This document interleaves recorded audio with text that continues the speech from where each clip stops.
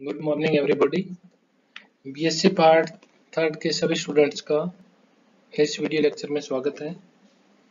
Transpiration के बाद में आज नेक्स्ट टॉपिक पर बात करते हैं फोटोसिंथेसिस फोटोसिंथेसिस प्रकाश संश्लेषण। फोटोसिंथेसिस एक सामान्य प्रक्रिया जो आपने सभी ने देख रखी है। आपने सुना होगा।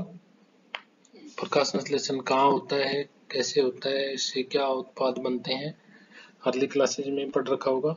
कुछ बात अपने वही करेंगे, जो अपने पहले पढ़ चुके हो। प्रकाश संश्लेषण किसे कहते हैं? जल तथा CO2 के द्वारा। क्लोरोफिल तथा लाइट की उपस्थिति में। सिंपल ऑर्गेनिक कंपाउंड के निर्माण की प्रक्रिया को प्रकाश संश्लेषण फोटोसिंथेसिस कहते हैं। यानी कि पादप जगत में, यानी कि प्लांट किंगडम में यह एक सबसे बड़ी क्रिया जो दी है, यानी कि जो नेचुरल जो देन है, वो सबसे बड़ी ये दी है कि वो अपना भोजन खुद बना सकते हैं। मनुष्य या मेमल्स या ह्यूमंस जो इतने एडवांस हैं, परंतु इनमें ऐसा कोई सिस्टम नहीं दिया हुआ जिससे कि ये खुद अपना भोजन बना सकते हैं। परंतु प्लांट्स में ये बहुत बड़ी युक्ति दी हुई है कि वो क्या कर सकते हैं, अपना भोजन का निर्माण कर सकते हैं। तो यह जो प्रक्रिया होगी भोजन निर्माण की क्लोरोफिल ये एक विशेष प्रकार के अंग के अंदर, प्रत्येक कोशिका है, उसके अंदर भिन्न भिन्न प्रकार के ऑर्गेनल्स पाए जाते हैं। उसमें से एक ऑर्गेनल होता है क्लोरोप्लास्ट उसके अंदर यह क्रिया पाई जाती है। तो क्लोरोप्लास्ट की स्ट्रक्चर को अपने देखते हैं। ये सेल बायोलॉजी के अंदर सेकेंड ईयर और उससे पहले भी आप पढ़ चुके हो कि क्लोरोप्लास्ट एक द्विस्तरीय कोशिका भित्ति युक्त कोशिकांग है, जिसमें आउटर और इनर दो मेम्ब्रेन पाई जाती है और उसके अंदर, प्रत्येक क्लोरोप्लास्ट के अंदर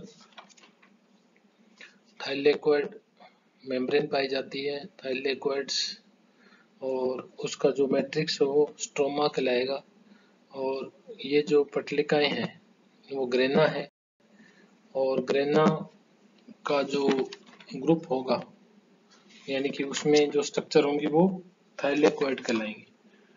तो यानी कि जो प्रकाश संश्लेषण की जो मुख्य क्रियाविधि है, वो ग्रेना के अंदर होती है। ग्रेना के अंदर क्लोरोफिल मोलिक्यूल्स होंगे और क्लोरोफिल मॉलिक्यूल्स ही जो लाइट एनर्जी है उसको ट्रैप करते हैं और उसके अलावा जल तथा CO2 के संयुग्मन से किसका निर्माण होगा, सरल कार्बनिक पदार्थ ग्लूकोज का निर्माण होगा। अब क्लोरोफिल जो मुख्य पिगमेंट है, प्रकाश संश्लेषण में, वो अधिकतर कौन सी लाइट अब्जॉर्व करता है? रेड और ब्लू कलर की। जैसे अपने विप ज़ोर पढ़ते हैं वायलेट इंडिगो ब्लू रेड विप ज़ोर पूरा जो स्पेक्ट्रम है 400 से 700 नैनोमीटर का। उसके अंदर जो ब्लू और रेड लाइट है, वहाँ पर क्लोरोफिल क्या होगा? कार्यरत रहेगा। क्लोरोप्लास्ट में जो मेम्ब्रेन है थाइलेकोइड मेम्ब्रेन उसके अंदर ये जो फ़ोटो सिस्टम होंगे फ़ोटो सिस्टम फ़र्स्ट और सेकंड जिसकी बात अपने बाद में करेंगे, वो वहाँ पर व्यवस्थित होते हैं, जिन पर लाइट एनर्जी फोटोन्स के रूप में गिरती है और उस फोटोन लाइट एनर्जी के रूप में गिरने के कारण वहाँ से इलेक्ट्रॉन उच्च कक्षा में जाते हैं और उस एनर्जी को ऊर्जा के फोटोन की एनर्जी को कैप्चर करते हैं। और यह एनर्जी स्टोर होकर, आगे चलकर ग्लूकोज के रूप में अपने को प्राप्त होती है। और उसके अंदर जो स्ट्रोमा होगा, जो उसका जो फ्लूड होगा, यानी कि थाइलेकोइड के अलावा जो पोर्शन होगा, वो उसका स्ट्रोमा कहलाता है, जहाँ पर डार्क रिएक्शन होगी। अब पिगमेंट की बात करें तो क्लोरोफिल भिन्न भिन्न प्रकार के क्लोरोफिल पाए जाते हैं।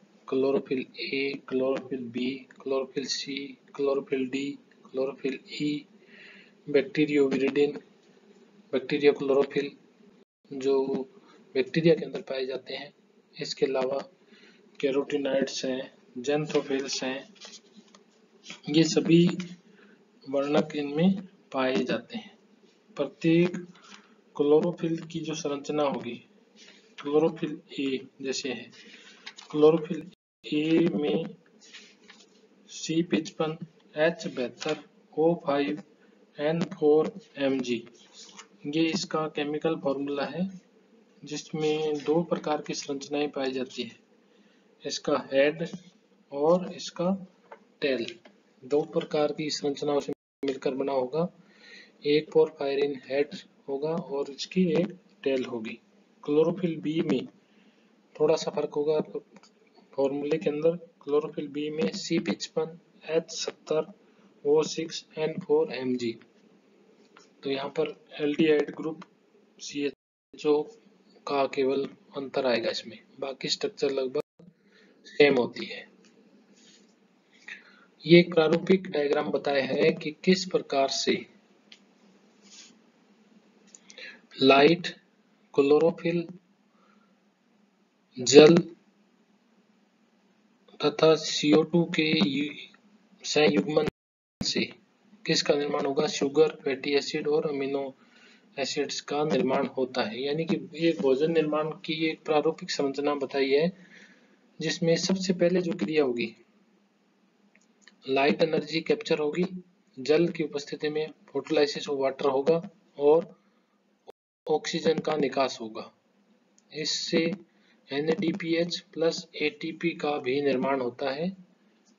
ये फोटोफास्फोरिलेशन की क्रिया होगी, जिसमें फ़ोटो सिस्टम फ़र्स्ट और सेकंड कार्य करेंगे।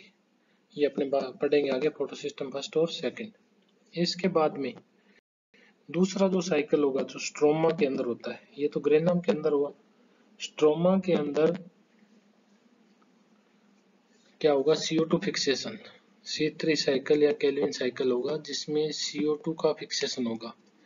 यानी कि लगातार ये साइकिल जारी रहेगा और प्रत्येक चक्कर में, एक बार में एक कार्बन डाइऑक्साइड फिक्स होती है तो C6H12O6 बनने के लिए छह साइकिल केल्विन साइकिल के चलेंगे, जिससे कि C6H12O6 का निर्माण होगा। तो ये एक पूरी प्रारूपिक स्ट्रक्चर है कि किस प्रकार से ये ग्लूकोज मॉलिक्यूल का निर्माण होगा।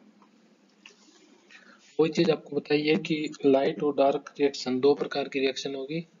पहली रिएक्शन फोटोफॉस्फोरिलेशन जिसको लाइट रिएक्शन बोलते हैं।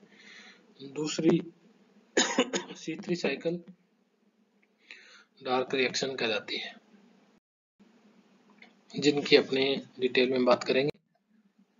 इसी प्रकार से क्लोरोफिल जो मॉलिक्यूल्स होंगे उसके साथ में कैरोटिनाइड्स जेंथोफिल्स आदि स्ट्रक्चर्स आदि मॉलिक्यूल्स भी पाए जाते हैं। ये असेसरी पिगमेंट्स हैं, जो इन क्लोरोफिल को प्रोटेक्ट करते हैं और कम वेवलेंथ की लाइट को ऑब्जॉर्व करके इनको प्रदान करते हैं। इस प्रकार से यह संपूर्ण प्रक्रिया जारी रहती है। तो आज अपने इस लेक्चर के अंतर्गत सिर्फ़ अपने ये बात की है कि किस प्रकार से क्लोरोफिल मॉलिक्यूल्स, क्लोरोप्लास्ट होगा, क्लोरोप्लास्ट में क्लोरोफिल मॉलिक्यूल क्लोरोफिल मॉलिक्यूल में थाइलेक्वाइड और स्ट्रोमा, थाइलेक्वाइड के अंदर प्रोटोसिस्टम फ़र्स्ट और सेकंड, जिससे कि लाइट रिएक्शन होगी। लाइट रिएक्शन का प्रोडक्ट और CO2 स्ट्रोमा में C3 साइकिल के द्वारा किसका निर्माण करेगा? ग्लूकोज का निर्माण करेगा। तो ये एक पूरी प्रक्रिया है, जिसकी एक आउटलाइन आपको बताई है। नेक्स्ट लेक्चर के अंतर्गत अपने light reaction photo system first फिर सेकंड की बात करेंगे। Thank you